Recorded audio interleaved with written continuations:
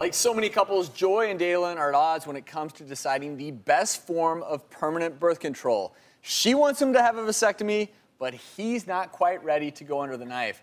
So, just to clarify for everyone, Joy, you want him to have a vasectomy. Brad. No questions asked. And then, Dalen, you're fearful because you want everything to keep working fine. Well, we're going to show you why a vasectomy is, quite frankly, a pretty simple procedure. And then Dr. Lisa is going to show how tubal ligation is more complex. So you are a man. A vasectomy doesn't change that. This is not castration, okay? and I want to clarify that for everyone at home. Your testicles produce sperm. And then when you do have ejaculation, it comes up through the vas deferens here, and that's how you impregnate a woman. Now, a vasectomy is pretty simple. You take this vas deferens, vas deferens clip, clip, and then two surgical clips are placed on either end so that the sperm can no longer travel out the vas deferens. You can no longer get someone pregnant. It doesn't change anything as far as what your testicles are doing in terms of producing testosterone, all the things that make you a man. Literally, all you're doing is blocking the passage route for the sperm. This usually is done in less than 30 minutes. It's a lunchtime type of procedure. I don't want to, any procedure has risks. Right. But after about a week or so, you're going to feel great. And then after a few months, after you've had your sperm counts tested, then you can go back to having normal sex without other protective methods. Men have to understand this is not something that causes erectile dysfunction. Does stuff still come out of there? Is that's, that's a good I point. just want to know. Does, does anything come out of there anymore, or is that done?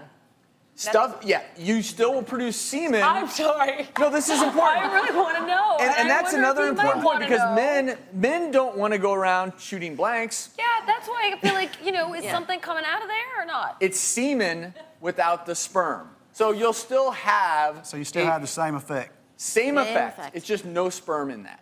Now, what happens in the woman is remember, the woman's anatomy has her uterus and her tubes and her ovaries are inside the pelvis, whereas your stuff's on the outside.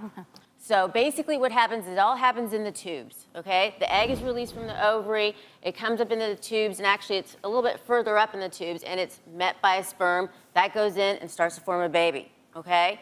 And then what happens next in a tubal ligation is we pull up a knuckle of tube, we tie it off or put a band on it, and then we cut it, and then you can see the sperm can't get to the egg. It's like a barrier, all right? And there's different options. You can use a band, you can use a tie, um, or you can use cauterization, okay?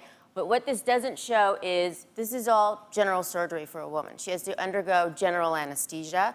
Um, it's a laparoscopic procedure, so there are actually more risks of the surgery. There can be, besides a bleeding infection, um, there can also be bowel injury and bladder injury as well. Um, and again, general anesthesia comes with a huge risk. This has to be performed inside a woman, has to be performed in an operating room, whereas yours is an outpatient procedure, no general anesthesia, scalpeless, needleless. So what is the recovery period for a woman based, you know, versus a man?